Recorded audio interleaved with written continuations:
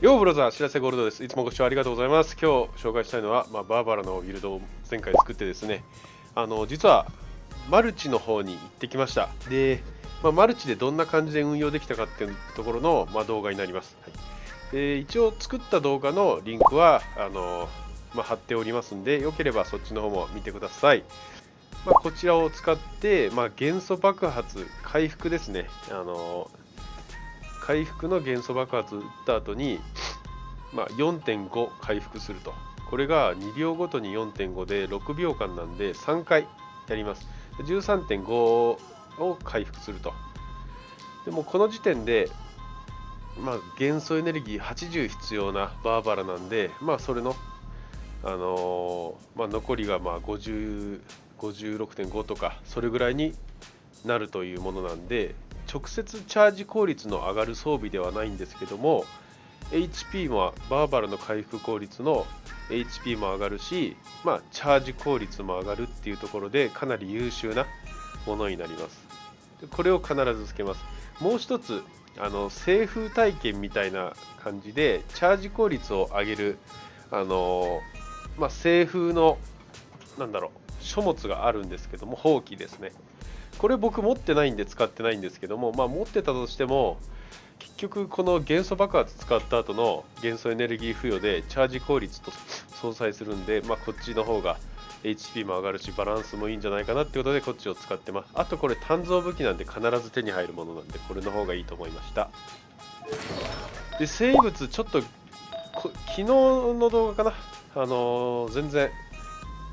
厳選できてなかったので少しレベル上げて13になって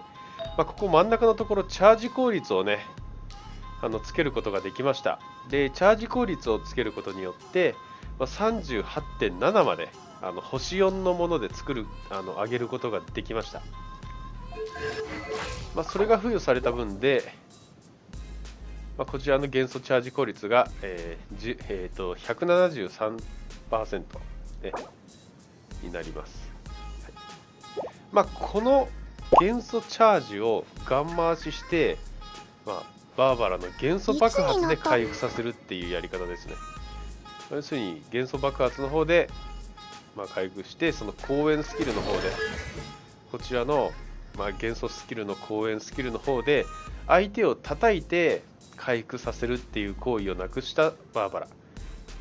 で殴って回復させない攻撃して回復させないバーバラなんで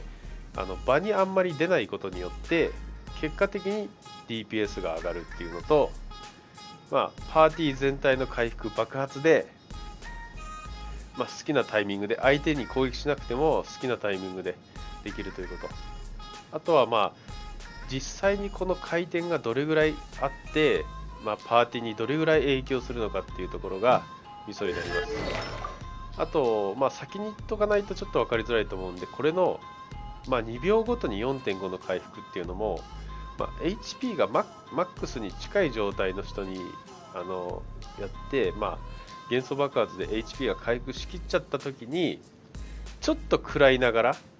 あのその後すぐに食らっちゃったなっていう人いる、まあ、たまにいると思うんですよね。せっかく返してもらったのにすぐ食らっちゃった。その後もまあ6秒以内であればちょっとまた回復できるんでまあ、そういう遊び部分、回復の遊び部分もあるようなビルドなんで結構面白いのかなと思います。で、相手が氷属性でなければ別に公園使って普通に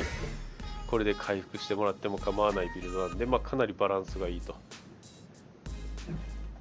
あとはこの異物の元素エネルギーを獲得するときのチームにいる弓と砲撃キャラの元素エネルギーを3回復する。要するに、まあ後でムーブで説明するんですけど、これをつけてる状態であれば、まあ、元素エネルギー、オーブと粒子を回収、敵を叩いて回収するときに、まあ、パーティーの構成によってはパーティー全体に元素エネルギーを3回復させてくれると。これが3秒ごとに、まあ、それが333って加わっていきますんで、まあ、味方も美味しいという形になります。はい、ではですね、あの今日マルチで行った、あのまあ、実際の運用のところを見ていきたいと思います。よろしくお願いします。はい、じゃあこちらですね、まず、えー、と場所は、えー燃え盛る炎の魔女っていうあの生物が手に入るダンジョンになります。で、仲間の人がね、1人いて、2人キャラ使ってるんですけども、趙雲と、まあ、主人公の風元素のキャラクター、こちらが結構、まあ、オーブを投げてくれるんで、相性は非常に良かったですね。えーで、まずは、まあ、バーバラの方はね、元素を使ってる状態なんで、まあ、このようにして、まあ、普通にレザーメインで戦ってもう一人の方もこうやってオーブをねこう出しまくってくれてるんでチャージ効率の高いバーバラの方にも、ま、レザーが出てる状態であっても、まあ、どんどん付与されている状態ですね。だそこがチャージ効率が高いところ、まあ、場に出ていない時でも、ま、チャージされるし、まあ、こうやって例えばここのように爆発して自分でこう回収すると。ここで一気になります。でまずは1回目の元素爆発で回復。これ回復した後も6秒間は継続的にリジェネ効果がかかりますんで、まあ、こういうちょっとしたダメージを食らいながらとかでも、まあ、維持できるという状態。で今回は氷属性の相手がいないんで公園のスキルも使いながら戦います。ほらこうやってオーブを回収するときだけバーバルに書いております。で味方のねあのまあ主人公趙雲とかも幻想オーブをかなり出してくれるような、まあ、キャラクターなんで非常に周りが良かったです。で、まあ、このようにガンガンガン詰めて攻撃するタイプがねやっぱ多いんでダメージかなり食らってると思います相方の方。ただバーバラがもうもう溜まってます。幻想チャージ回復。これでもうほぼほぼダメージがあの食らっていてキャラが死んでいた味方が今ゴリゴリ回復していったところがあの見て取れてわかると思います。これが元素爆発ほとんど回らないような状態であればあの例えば相方の人があのキャラクター1人ほとんどあのもう稼働しないような状態で後半戦を迎えるという形になっていたと思います、はいで今もあのオーブが飛んできてましたね。バーバラを使ってる時に。でどんどんオーブを貯めていっております。またこれもいいタイミングで趙雲のオーブが飛んできてくれました、まあこのようにしてもうほぼこの後はね、まあ、ダメージなかなか味方もねあのー食らわなかったんですけども今現在見るとやっぱり味方が半分食らってます。でここで幻想爆破。いいいいタイミングでねこう入るんですね。これこういう感じでムーブすることによって例えばバーバラでバーバラの公園で攻撃をしていない分レザーがね思いっきり戦えるんですねでレザーが思いっきり戦える分そのバーバラで攻撃しながら回復するっていうムーブがなくなるんで結果的に DPS が伸びるっていうことになっております。まあ、もちろん味方の状況が例えばね今回趙雲と、まあ、片手剣の主人公の、まあ、風元素だったんですけどもこれが例えばウェンティだったりとか、ね、そこら辺のキャラクターがもし来ていたとしたらで次もし、ねあの追加される氷元素の弓使いとか、まあ、そういった弓と砲器のキャラクターが揃っていた場合その場合であればまたチャージ効率味方の付与されていくところが全く状況が変わってきたと思いますね。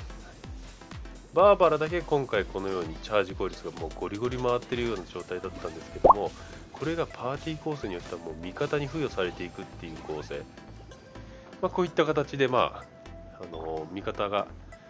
ね結構ダメージ食らった状態でもゴリゴリ回復しながらやることができたっていう内容ですこれでマルチ運用の動画でしたこれまだ厳選してないからねチャージ効率はい、こんな感じの動画でした。はい。まあ、こんな、まあ、バーバラもありなんじゃないかなってことで、今回提案させていただいたんで、まあ、ぜひぜひ皆さん、あの何かあればコメントの方で、あの僕の方に質問していただければなと思います。なるべくあの返すようにはいたします。はい。じゃあ、ぜひまたチャンネル登録と高評価の方、ご協力よろしくお願いします。次回の動画もまたあのネタありますんで、まあ、なるべく早く公開したいと思いますんで、ぜひぜひまたお越しください。まあ、そうですね、生放送の方も僕の方定期的にやってますんで、そっちの方でまた遊びに来ていただいて、ぜひあのコメントで一緒に盛り上がっていければなと思います。ぜひぜひお越しください。よろしくお願いします。では、また原神ライフをお楽しみください。グッバイブラザー。